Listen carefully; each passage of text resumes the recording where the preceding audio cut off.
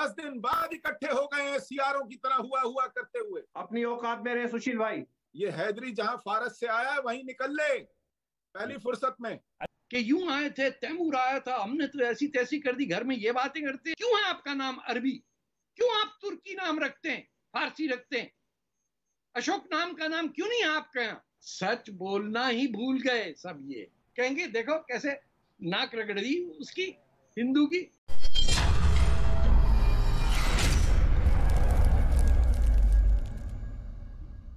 Hello दोस्तों, स्वागत है आपका आर न्यूज़ चैनल में एक और लेटेस्ट डिबेट के साथ। डिबेट काफ़ी शानदार होने वाली है दोस्तों, इसलिए अंत तक ज़रूर देखें। डिबेट में अब तारिक फतेह, साधवी प्रज्ञा, माजिद हैदरी और अतीकुर रहमान को देखेंगे। दोस्तों, भारत में फ़िलहाल मुस्लिम समुदाय के द्वारा हिंसात्मक तरीके से प्रदर्शन किए जा रहे हैं और नुपुर शर्मा के लिए मुस्लिम समुदाय के द्वारा अभद्र टिप्पणी की जा रही है और साथ में फांसी पर लटकाने की भी मांग हो रही है। दोस्तों, मुस्लिम समुदाय के द्वारा इसी बेतुकी मांग पर डिबेट में उपस्थित तारिक फतेह ने इन्हीं मज़हब के ठेकेदारों की, इसके पीछे की मंशा बताई है। दोस्तों एक ही समय पर एक ही दिन में 20 राज्यों में अलग अलग जगहों पर जिस प्रकार से दंगे फसाद हुए हैं उनसे तो यही लग रहा है कि भारत में कुछ बड़ा होने वाला है और शायद इसके पीछे गजवा हिंद का भी कॉन्सेप्ट हो सकता है। तो दोस्तों डिबेट काफ़ी शानदार है इसलिए अंत तक ज़रूर देखें। तो चलिए दोस्तों देखते हैं मेन डिबेट ठीक है तारिक फतेह साहब सर तन से जुदा को गलत नहीं कह सकते भाई। लक्ष्मण रेखा पार हो गई है भाई। संविधान संविधान यही लोग बैठते हैं शाहीन बाग में तो संविधान की कॉपी लेकर बैठते हैं। और फिर जब अपन अपने धर्म की बात आती है तो फिर जो है शरिया लेकर बैठ जाते कैसे कह दे गलत? तारिक फतेह। देखिए ये मज़हब के पीछे इस्लाम के पीछे छुप के गुंडागर्दी करना तलवार चलाना इन- इन्होंने तो रसूलुल्लाह की फैमिली का कत्ल कर दिया। ये बारहवीं सदी नहीं है ये इक्कीसवीं है। ये नंबर घुमाओ सेट करो। कब तक पीछे मुड़ के रेयर व्यू मिरर में गाड़ी चलाओगे एक्सीडेंट तो होगा। कभी नज़र आगे भी डालो। बस हमेशा पीछे। कि यूँ आए थे तैमूर आया था हमने तो ऐसी तैसी कर दी घर में ये बातें करते हैं टीवी पे आके बात के करते हैं ये। ये हमारा घर है ये घुसपैठिया क्या कर रहा है इस मंच पे? भड़काऊ भाषण हाँ ये घुसपैठिया हम हम नहीं मानेंगे देखें भाई यहाँ भड़काऊ बात नहीं होगी इस मंच पे। ये घुसपैठिया क्या बोले भड़काऊ बात नहीं होगी। मुझे माननीय अमित शाह जी ने कहा है घुसपैठिए को नागरिकता नहीं माजिद देंगे, हैदरी तो बोलते हैं घुसपैठिया भड़काऊ बातें नहीं होंगी। माजिद हैदरी- बोलते हैं। पाकिस्तान शांति पर लेक्चर तो देता है और। माजिद हैदरी बोलते हैं भड़काऊ बातें नहीं होंगी। माजिद हैदरी वो कट्टरपंथियों के खिलाफ बोल रहे हैं। आपको क्यों बुरा लग रहा है? आप तो कट्टरपंथी नहीं, नहीं, है ना भाई। वो तो ये कट्टरपंथियों के खिलाफ बोल रहे हैं भाई। आपके खिलाफ थोड़ी ना बोल रहे हैं। हाँ एक मिनट एक मिनट एक मिनट। तारिक पता है कंप्लीट करिए ऑडियो बंद रहेगा सबका। तारीख पता है फिर मुझे ब्रेक पर जाना तारीख पता है कंप्लीट कर लीजिए। जब तक हिंदुस्तान का मुसलमान अपने जहन में क्लियर नहीं होगा कि ये वाहिद मुल्क है जहाँ पनाह मिली मुसलमानों को ये ना शुक्र या उस बंदे को फॉलो करते हैं, औरंगज़ेब को जिसने गर्दन से काटा है शियों को, मुसलमानों को मारने वाले। और एक बताइए, हिंदुस्तानी मुसलमान जिसका नाम हिंदुस्तानी हो, क्यों है आपका नाम अरबी? क्यों आप तुर्की नाम रखते हैं, फारसी रखते हैं? अशोक नाम का नाम क्यों नहीं है आपका यहाँ? और सबसे बड़ा जो विक्टिम है ये जिहादियों का और ये इस्लामिस्ट का वो मुसलमान होता है। सच बोलना ही भूल गए सब ये। नहीं मुँह पर तो संविधान होता है। संविधान संविधान चिल्लाएँगे। इतनी से जुदा को गलत नहीं बताएँगे। ना? वो तो संविधान करेंगे? घर आके कहेंगे देखो कैसे नाक रगड़ दी उसकी हिंदू की। भैया इतनी आपने छूट दी कि हिंदुओं के खिलाफ नफरत फैलाने की खुली इजाज़त है। दियोबंद आपके मुल्क में जिसने तालिबान बनाया? ये कहीं फ्रांस से नहीं आया या तुर्किस्तान से? जब तक आपके यहाँ ये मदरसे और ये सारे मौलवी और ये सूडो इंटेलेक्चुअल घूमते रहेंगे आप हिंदुस्तान को डुबो के रहेंगे जिस मुल्क में बैठे उसी में सुराख कर रहे हैं उसी किश्ती में।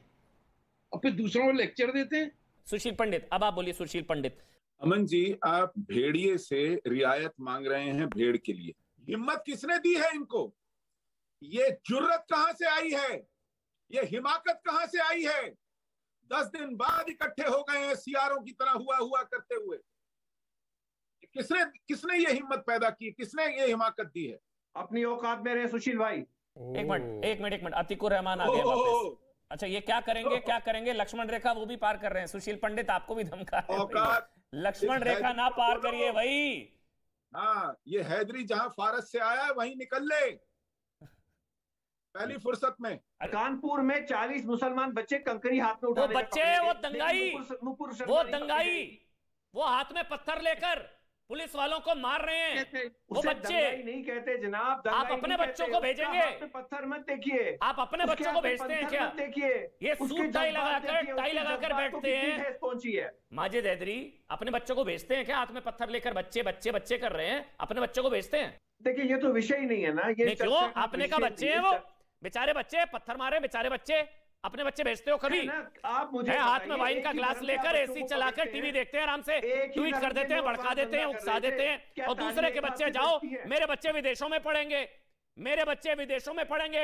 मैं टाई सूट लगाकर बैठूँगा एसी कमरे में हाथ में वाइन का ग्लास लेकर आराम करूँगा इन बच्चों को हाथ में पत्थर पकड़ाऊँगा। अल्लाह बचाए वाइन से क्या बात कर रहे हैं जी? आप मेरा हाँ, आप लोग दूसरे के बच्चों को पत्थर पकड़ाते हो फिर बच्चों को फिर कहते हैं बच्चा बच्चा। आप जब तक इनके गजवाए हिंद की मानसिकता का आप दांत नहीं तोड़ेंगे ये सुशील पंडित अक्सर कहते हैं तब तक ये चीज़ें नहीं होंगी। सारी सरकारों को इन पत्थरबाजों के खिलाफ हूँ, कठोर से कठोर कार्रवाई करनी चाहिए पहले- पहले- ताकि वो आगे के लिए पैटर्न बन सके ठीक ठीक एक नजीर। सड़कों पर आने से पहले वो दस बार सोचें। ठीक है कसादी जी मेरा सवाल ये है सवाल है। अब तो हर जुमे के दिन डर लगेगा भाई कि आज फ्राइडे है। अमन यहाँ पर मुद्दा हिंदू मुस्लिम नहीं है।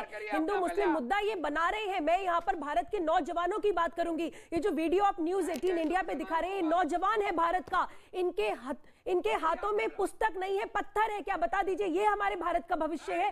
मेरा भारत जल रहा है और उस पर भी सियासतबाजी हो रही है, उस पर भी राजनीतिकरण हो रहा है। क्या ये गलत नहीं है? तो दोस्तों, उम्मीद करता हूँ डिबेट आपको पसंद आई होगी। डिबेट पसंद आए तो चैनल को सब्सक्राइब करें, साथ में बेल आइकन को प्रेस करें ताकि हमारे आने वाले वीडियोस का नोटिफिकेशन आपको तुरंत प्रभाव से मिल जाए। और डिबेट को ज़्यादा से ज़्यादा शेयर करें ताकि हमारे और भी भाई इस डिबेट को देख सके। दोस्तों, मुस्लिम समुदाय के ऐसे कुछ लोग हैं जो की कभी नहीं चाहते की भारत में अमन शांति हो। इसीलिए वो समय समय पर ऐसे प्रोटेस्ट और दंगे करवाते रहते हैं, जिनकी वजह से भारत की दुनिया के सामने इमेज खराब होती है। लेकिन इन मुस्लिम समुदाय के लोगों को इस बात से कोई भी फ़र्क नहीं पड़ता, क्योंकि ऐसे कुछ मुस्लिम शायद भारत को अपना देश नहीं मानते और गजवाए हिंद के सपने देखते रहते हैं। लेकिन शायद ये लोग भूल चुके हैं कि ये पहले वाला भारत नहीं रहा, जहाँ पर ये मुस्लिम समुदाय के कुछ लोग मुस्लिम कार्ड खेलकर बेचारा दिखे। दोस्तों, नुपुर शर्मा के बयान को लेकर यूपी में भी जमकर प्रोटेस्ट हुए थे, लेकिन योगी सरकार ने इनको सबक सिखाने के लिए इन प्रदर्शनों में जिन उपद्रवियों ने हिंसात्मक तरीके से आगजनी की और पब्लिक प्रॉपर्टी को नुकसान पहुँचाने की कोशिश की, उन पर कठोर एक्शन लेने लगी है। आज बाबा का बुलडोजर बाहर निकला और ऐसे उपद्रवियों के घरों पर बुलडोजर चला जिन्होंने इस प्रदर्शन के चलते देश को नुकसान पहुँचाया। दोस्तों डिबेट में जैसा कि आपने देखा कि मौलाना हैदरी ने उन सभी लोगों को मासूम बताया जिनके हाथ में पत्थर थे। लेकिन जब अमन चोपड़ा के द्वारा क्रॉस क्वेश्चन किया गया और हैदरी से ये पूछ लिया गया कि क्या उन्होंने भी कभी पत्थर चलाए या उनके बच्चों ने भी कभी पत्थर चलाए तो इस बात का हैदरी के पास कोई भी जवाब नहीं था। दोस्तों डिबेट में इन जैसे लोगों को बुलाकर एक्सपोज किया जाता है, लेकिन फिर भी मुस्लिम समुदाय के लोग इनकी विकृत मानसिकता वाली सोच में आकर ऐसे उल्टे सीधे काम कर देते हैं, जिनकी वजह से इनको बाद में नुकसान उठाना पड़ता है। और इन्हीं मजहबी ठेकेदारों के द्वारा मुस्लिम युवकों को गलत राह पर ले जाया जाता है। तो दोस्तों, उम्मीद करता हूँ वीडियो आपको पसंद आएगा वीडियो पसंद आए तो चैनल को सब्सक्राइब करें। साथ में बेल आइकन को प्रेस करें ताकि हमारे आने वाले वीडियोस का नोटिफिकेशन आपको तुरंत प्रभाव से मिल जाए। और यदि वीडियो आपको किसी भी एंगल से पसंद आया तो ज़्यादा से ज़्यादा शेयर करें ताकि हमारे और भी भाई इस वीडियो का आनंद उठा सके।